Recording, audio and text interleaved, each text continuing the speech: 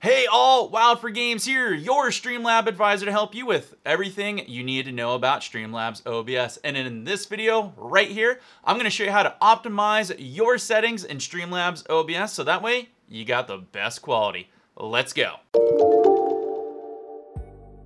If you're brand new to streaming and you're not really sure what kind of settings you should have for your Streamlabs OBS, don't worry, Streamlabs provides an awesome feature that auto-detects what hardware and internet you have and recommends the best settings for you, so that way you're good to get up and running right away. But if you're the type of streamer that wants to have a little more hands-on experience and control your settings and output, this video is for you. Having settings that are way too high for your machine can wreak havoc on your stream, so we need to make sure you choose the proper encoding options. To adjust settings, open Streamlabs OBS and click on the settings cog in the lower left-hand corner. To change the encoder, navigate to output in the settings window. When it comes to encoders, there are two types, X264 and NVENC, also known as NVENC.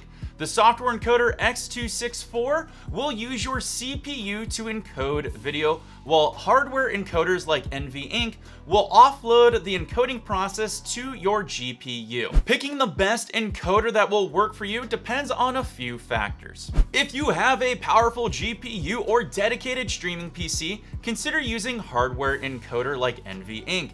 In most cases, the software encoder X264 will be able to handle the encoding process as long as your CPU isn't being overtaxed in other areas. To ensure your CPU isn't being overtaxed, we can make some adjustments to settings to optimize the performance and quality of your machine. Making adjustments to quality and resolution can have a significant impact on your quality of your live streams and performance while using Streamlabs OBS.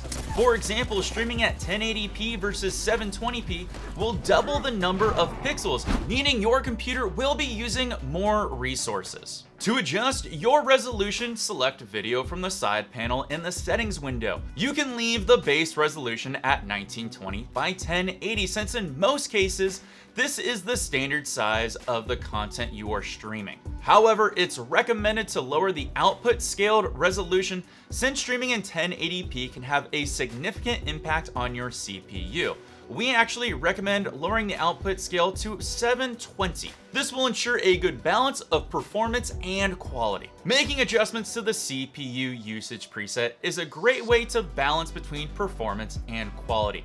Navigate yourself over to the output and the settings window. By default, the encoder is set to very fast, which will provide a great balance between performance and quality. Basically, the faster it encodes, the less CPU it uses. In the latest update to Streamlabs OBS, we introduced a new feature called Dynamic Bitrate. This feature allows the software to automatically adjust your bitrate based on your network conditions preventing dropping frames. If you want to learn any more about dynamic bitrate, I'm going to put a card here at the top that goes a little more in depth about it. To enable dynamic bitrate, make sure you download the latest version of Streamlabs OBS and navigate to the advanced in the settings window. Scroll down and toggle the box next to the option that says dynamically change bitrate when dropping frames while streaming. Here at Streamlabs, it's our goal to make sure you have a great balance between quality and performance. And if you ever have any questions about any of our features, you might want to take a look at our videos. I'm to do you a favor though. I'm to put a video over here to the side that shows you everything you need to know about the new edition of Dynamic Bit Rate. It's a really great video, and I recommend taking a look right after this. Until next time, my name's Wild4Games, and I will see all of you awesome people in the next Streamlabs video coming out real soon. Take care all, and peace!